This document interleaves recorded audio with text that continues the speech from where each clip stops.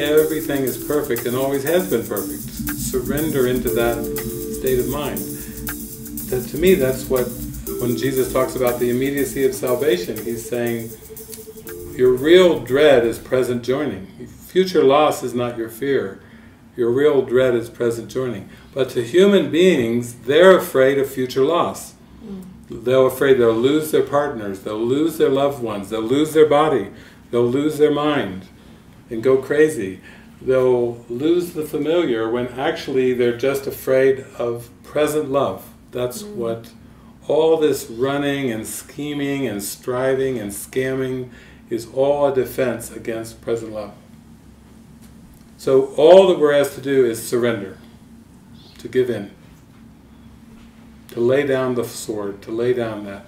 And it doesn't seem like it, but everything we've tried on planet Earth, even education is a defense against the holy instant. Even education, even the best things that humans have invented, or the ego has invented, are all defenses against the holy instant, against that surrender moment. So you were asking earlier if it was a process. Actually, that, that surrender moment I had of okay, I give it all to you, that's what opened the doorway to for me to be convinced mm. about the love.